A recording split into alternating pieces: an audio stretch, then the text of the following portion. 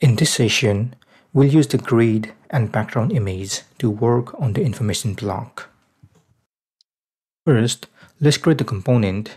So open your code editor, open components and home. Under this home, let's create a new file called information.js. We'll create a functional component, so add function information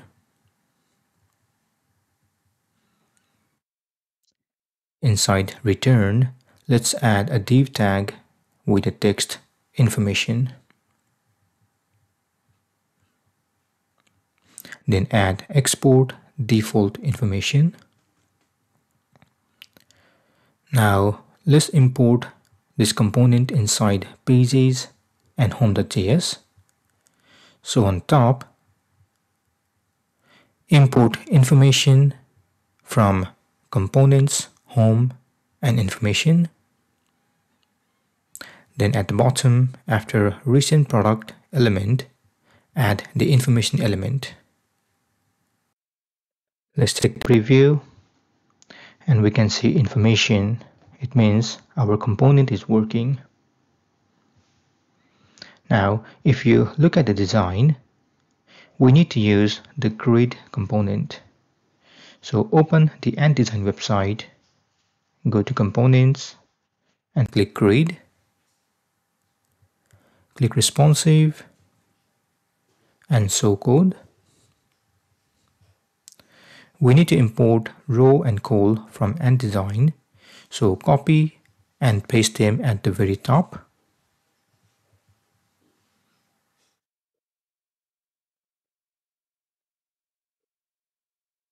Inside this div tag we need row element and inside row element we need col element.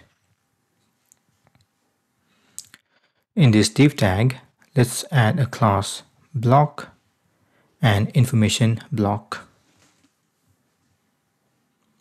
Then in row, let's add gutter with a value 24.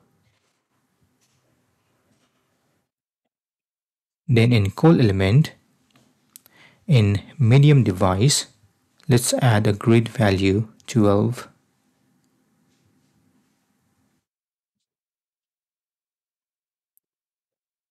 Let's copy one more col element.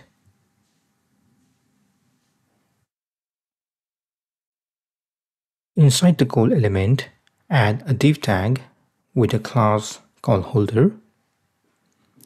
We will use background image in this holder div. Inside this div, add s3 tag, then copy the text from the website and paste it over here. For the price, add another div tag with the class price. You can then copy the price Let's copy this holder div and paste it in another col element.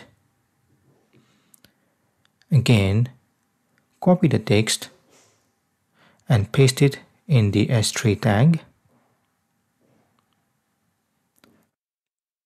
Copy another text and add them in a p tag.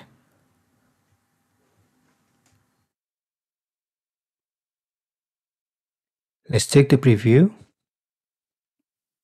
and now we can see those information block. The only thing that is missing now are the images. So let's go back to the code editor and on top let's import those images. So first let's add bg image 1 from assets images and the name of image is ad-img1.png. Likewise, let's import bg image 2 from ad-img2.png.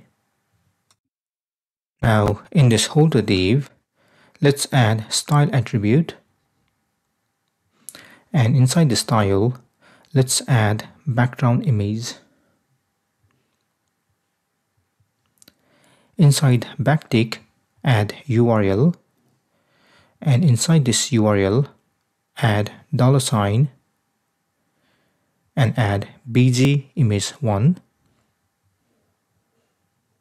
then add another properties background repeat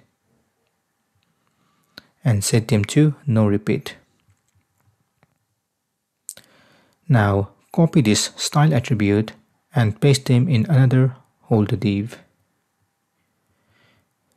you can change the image to bg image 2 Let's check the preview.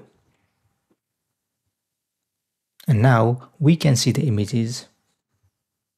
Also, if you compare it to the design, it is looking exactly the same. Great. This is the end of the session. Feel free to comment below if you have any questions. Also please don't forget to like, share and subscribe to my channel to get more videos in the future. Thank you.